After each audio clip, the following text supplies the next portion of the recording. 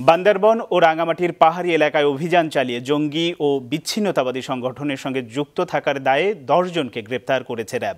তাদের মধ্যে নতুন জঙ্গি সংগঠন জামাতুল আনসার ফিল হিন্দাল সার্কিয়ার সাতজন এবং পাহাড়ি বিচ্ছিন্নতাবাদী সংগঠনের তিনজন রয়েছে। এ সময় তাদের কাছ থেকে অস্ত্র ও গোলাবারুদ উদ্ধার করার কথা জানায় র্যাব। রিপোর্ট। বান্দরবানের রুমা ও রোয়াংছড়ি উপজেলার বিভিন্ন স্থান এবং রাঙামাটির দুর্গম পাহাড়ি এলাকা থেকে র্যাব বিপুল পরিমাণ অস্ত্র ও গোলাবারুদ উদ্ধার করে। পার্বত্য এই দুই জেলার গহীন অরণ্যে লুকিয়ে থাকা সন্ত্রাসীদের ধরতে যৌথ বাহিনীর অভিযান চলে গত দশ থেকে পনেরো দিন ধরে।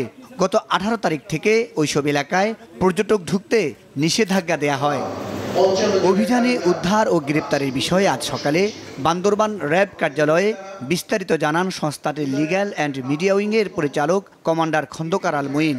বলেন, নতুন জঙ্গি সংগঠন জামাতুল আনসার ফিল হিন্দাল সার্কিয়া শীর্ষ নেতাদের ধরতে পাহাড়ে অভিযান শুরু হয়।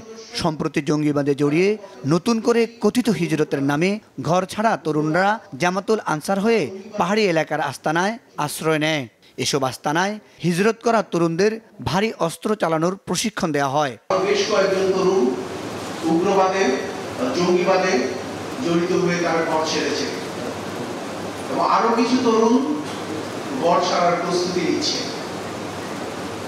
আমরা সেই যে চারজন তরুণ যারা ঘর ছাড়ার প্রস্তুতি নিচ্ছিল এবং তথাকথিত হিজরতের নামে বিরুদ্ধে শোয়া তিনজন তরুণকে আমরা আটক করতে সক্ষম হই কমান্ডার খন্দকার আলমইন আরও বলেন, বেশ কয়েকদিন ধরে টানা অভিযান চালিয়ে বান্দরবান ও রাঙ্গামাটির বিভিন্ন অঞ্চল থেকে নতুন জঙ্গি সংগঠন জামাতুল আনসার ফিল হিন্দাল সার্কিয়ার সাতজন এবং পাহাড়ি বিচ্ছিন্নতাবাদী সংগঠনের তিনজন সহ মোট দশজনকে গ্রেপ্তার করে র্যাব।